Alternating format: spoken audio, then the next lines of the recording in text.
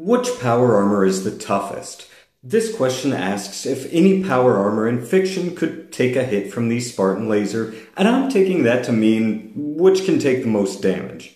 Now, first off, I'm not considering every power armor, both because, I mean, there are a lot, and because the sci-fi author in me prefers talking about armor that is knowable to us, more or less.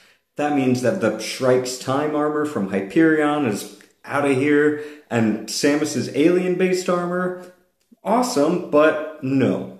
Anyway, which is toughest? We haven't seen the Goliath armor from the Expanse put through all of its paces, however, it does protect against most small arms, only worrying about armor-piercing ammo. The StarCraft Ghost armor is relatively similar. A step up would be the Halo Mjolnir armor. It's made of a titanium alloy with some fancy other things. While in just the metal armor itself, a wearer doesn't worry about any penetration whatsoever until the 50 caliber AP rounds that the Warthog fires. The energy shield on top of that can stop the equivalent of 6 to 9 rounds of 7.62 NATO. Now a step up from there, kind of, is the Space Marine armor from Warhammer 40k. While its weakest points can be exploited by 762 NATO and even wooden spears wielded by regular humans in some lore, uh, the thickest points, their armor, their chest, shoulders, back, they can take 35 millimeter autocannon rounds. Those aren't quite rounds that tanks fire, but if they hit just the right spot on some tanks, they can drop them.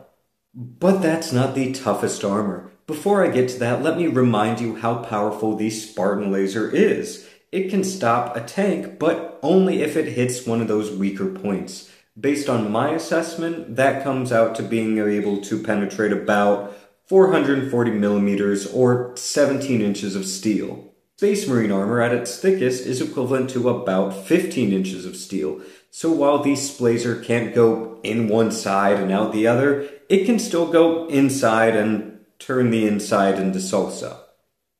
But there is armor that can withstand that. It comes from the Battletech and MechWarrior universe, but isn't a mech. It's the elemental armor of the clans piloted by the eugenic super soldiers called elementals. These suits work together in small teams to bring down much larger mechs, and they have mech-sized weapons, so I mean they're probably also the best armed power armor as well.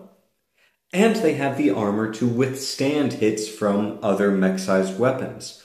But just how protective is that? Since the Splazer can take down a 66 metric ton tank, can it hold up? Well, we need to break down some weapons it can withstand. Battletech weapons are a little bit weird classification wise.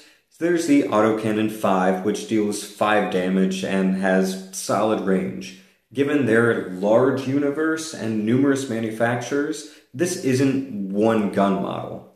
Auto Autocannon 5 is a classification given to any gun that can output that amount of damage at those ranges in one firing volley or session.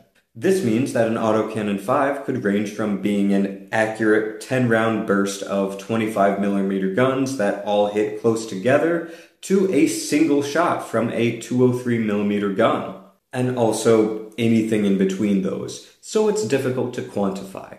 However, I think that since the 105 caliber the Abrams tank fires falls in there, and that's capable of defeating 440 millimeter just like the Spartan laser, and it would take two hits from an AC5 to drop an elemental, I think that the armor on an elemental is equivalent to above 440 millimeters, so could likely withstand one hit from a Spartan laser.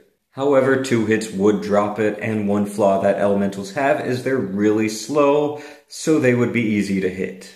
Anyway, what do you think is the toughest power armor? And if you want a more in-depth breakdown of how tough the Space Marine armor is, I got a video right here covering that. And I'm also going to post a random video right down here that you, you should look at because I want it to get views.